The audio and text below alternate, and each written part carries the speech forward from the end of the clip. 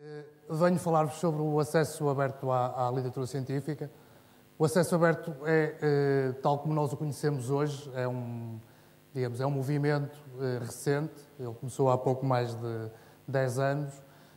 numa reunião que, que, que, juntou um conjunto de iniciativas, de pessoas, de, de, de, projetos que estavam preocupados e que estavam a trabalhar sobre a questão do acesso à literatura científica e resultou de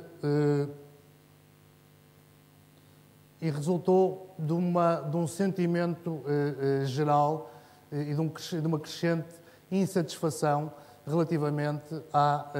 ao estado da publicação científica. As revistas científicas, ao longo do século XX, sobretudo na segunda metade, a partir da Segunda Guerra Mundial, começaram a tornar-se, sobretudo, iniciativas comerciais. Isso fez com que,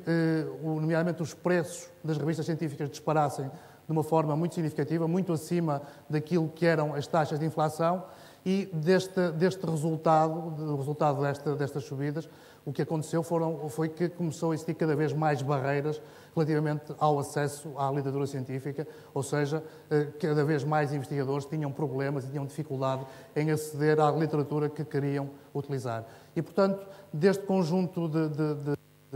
de fatores, emergiu o, o, o, acesso, o acesso aberto como uma, como uma aspiração. Uh,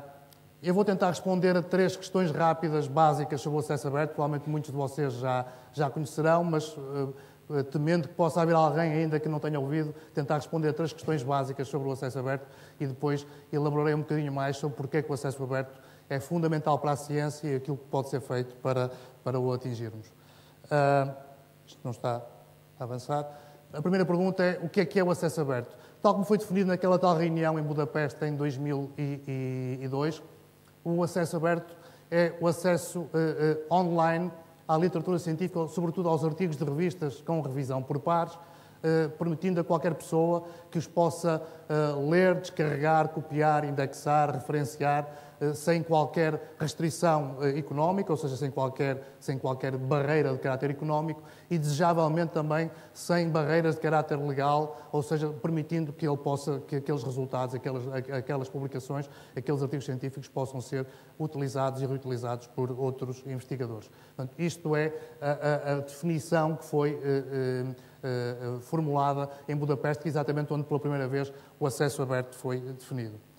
Uh, a segunda pergunta que vou tentar responder rapidamente é, quando estamos a falar, porque é muito importante perceber isso, quando estamos a falar de acesso aberto, estamos a falar de acesso aberto a quê? Estamos a falar de acesso aberto, em, em primeiro lugar, desde 2002, que isso é muito claro, e deve continuar a ser bastante claro, porque é, é sobretudo esta, esta literatura que, por um lado, em muitas disciplinas científicas, não em todas, mas em muitas disciplinas científicas tem mais valor, eh, eh, que é os artigos das, das revistas, mas, eh, mas também a, a, todo outro tipo de publicações que os autores produzem sem qualquer intenção de retorno económico. Porque, porque como vocês sabem, quem, quem, publica, quem publica artigos científicos fala sem qualquer intenção de, de obter um retorno económico o retorno que pretende obter é, digamos, é que elas sejam conhecidas, sejam reconhecidas e desejavelmente utilizadas e citadas pelos seus uh, colegas. E, portanto, é este conjunto de publicações e não outro tipo de publicações relativamente às quais os autores possam legitimamente esperar obter retorno económico que se aplica o acesso aberto.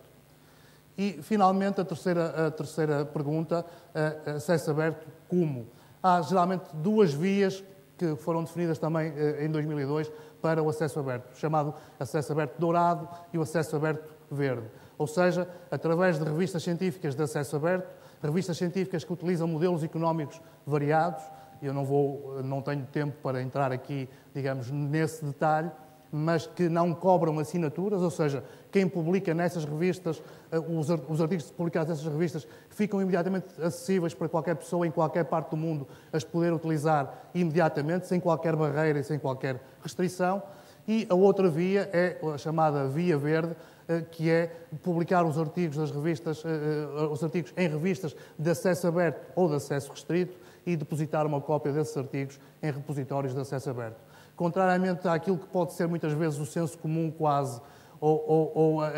a, imagem inicial, a maior parte das revistas científicas, sobretudo as revistas científicas de maior qualidade, permitem alguma forma de, de, digamos, de via verde e de depósito. Por exemplo, se vocês, aqueles que vocês publicam na Nature e na Science, em primeiro lugar, muitos parabéns. E, em segundo lugar, eh, podem depositar no repositório aqui da FCT ou noutro repositório que vocês utilizem e, e, a única restrição que vão ter é que durante, eh, no caso, por exemplo, da Nature, durante 12 meses ele vai ficar em acesso restrito, mas ao final de 12 meses pode ficar disponível em acesso aberto. E para a maior parte dos editores comerciais que vocês conhecem, o mesmo ou algo semelhante é possível, sendo que, em alguns casos, nem existe qualquer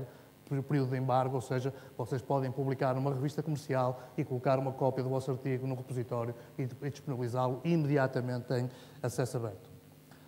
Uh, respondidas estas três primeiras questões básicas sobre o acesso aberto, uh, gostaria de, de, de falar, uh, de contextualizar um pouco esta questão. Porque nós hoje, o acesso aberto pode parecer, para alguns de vós, provavelmente uma ideia um bocadinho estranha, mas o que é estranho,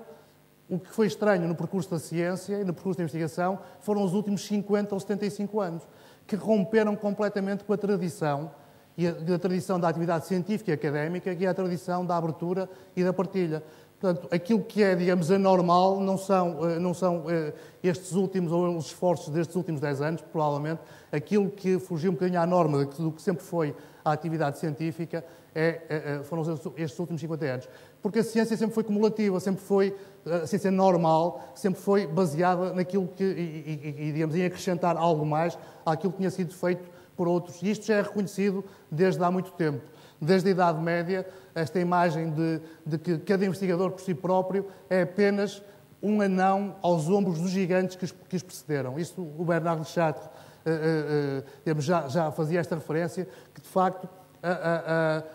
nós, cada um de nós vê mais longe, não provavelmente provavelmente os nossos olhos sejam melhores,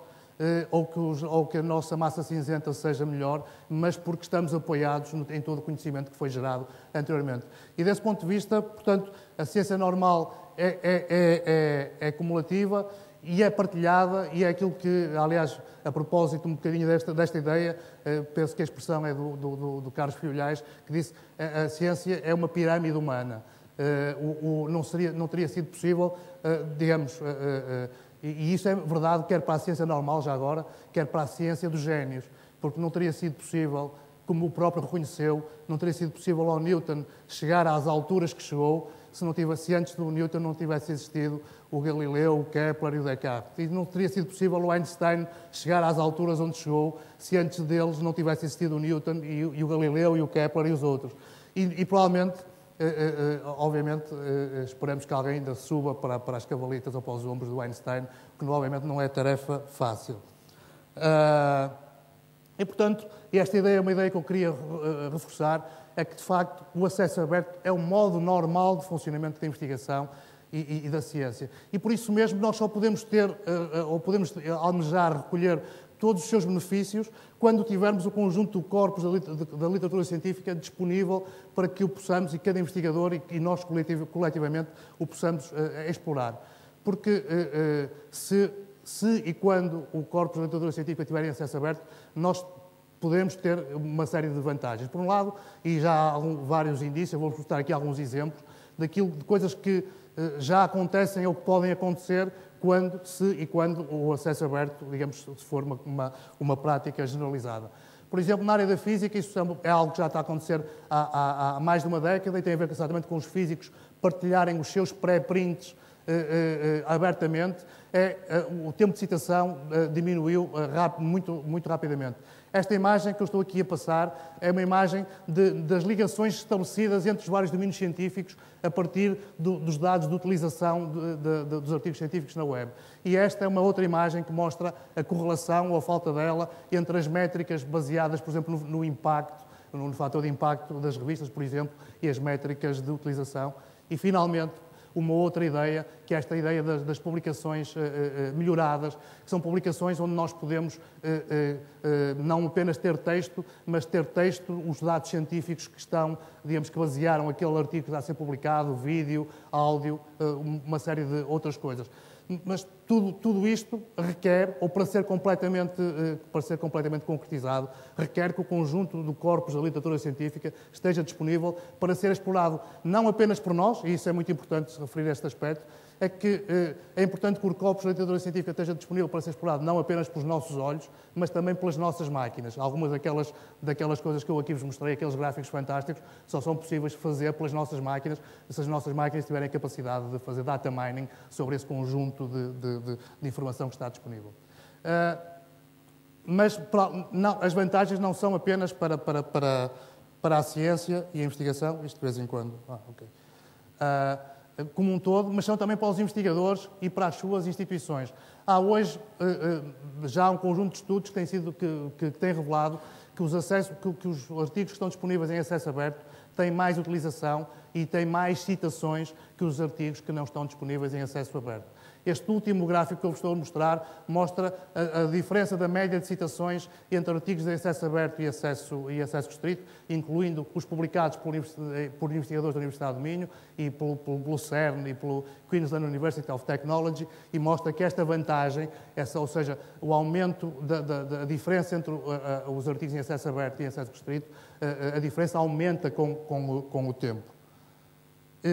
Mas é também importante perceber que eh, o acesso à literatura científica pode também ter implicações na, na, na, na, nossa sociedade e na nossa economia, que nós hoje estamos todos tão preocupados com a inovação e com a competitividade. Não sei quem é que hoje tinha comentado que, que, que alguém do FMI tinha descoberto que, que, que eh, afinal não era a baixa dos salários que nos tornava mais competitivos, não é? Eh, mas o acesso ao conhecimento ou a falta dele pode tornar-nos. E há dados que, nós, que, que não dados de Portugal, estou a falar aqui de dois estudos, um do, um do Reino Unido e outro da Dinamarca, que, que mostram os custos, basicamente, os que publicou também o resultado, digamos, de um outro esforço e, digamos, de, de, de, ciência cidadã, de colaboração da ciência normal com ciência cidadã, que tem a ver exatamente com, com o mapeamento da, da, da, da herança genética europeia. E por tudo isto, de facto, o acesso aberto eh, é cada vez mais eh, reconhecido e aceito eh, globalmente. Em primeiro lugar, pela, pela própria comunidade científica.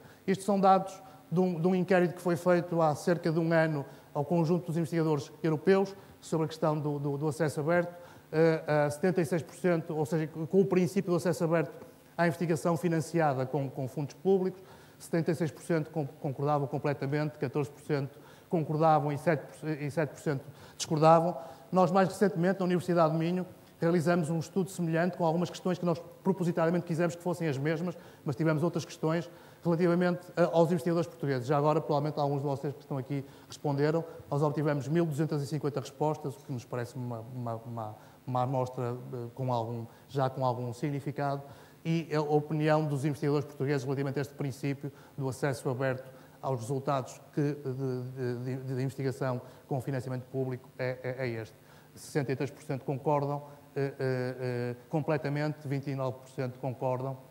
e apenas 1,4% discordam ou discordam completamente deste princípio. E, para além de, de, dos investigadores, também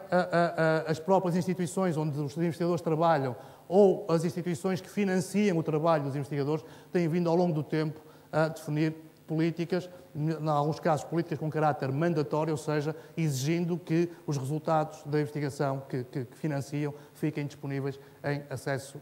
aberto. Isto é um gráfico que, que, que, mostra a evolução da definição dessas políticas ao longo dos anos. As primeiras são de 2002 e ainda não tenho, ainda não tenho aqui os dados de, de, de 2012.